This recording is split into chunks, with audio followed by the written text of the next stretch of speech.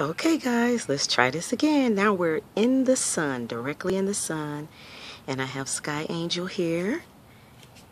Yes. I wanted you to get a good view. I'm hoping that, I don't know. You can see the top of my head in there. I can see that. But, um, yeah. I'm hoping that I put her belly plate on, guys. This shows you she still has the umbilical cord stuff on there. She's a newborn, a newbie. She's like eight weeks old. I haven't had a little one like this one for a while.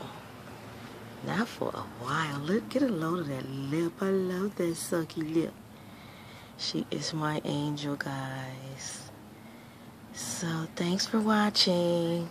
We'll talk to you later with plenty more videos. Look at those toesies. Ah, I love it. I love it. Bye, guys. Thanks for watching.